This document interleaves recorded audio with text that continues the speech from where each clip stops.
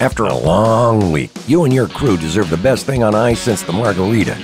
Rampage Hockey and KZEP Dollar Drink Night at the AT&T Center. Great seats start at just 10 bucks. Plus the local watering hole doesn't have shots like this, and beers are just a buck.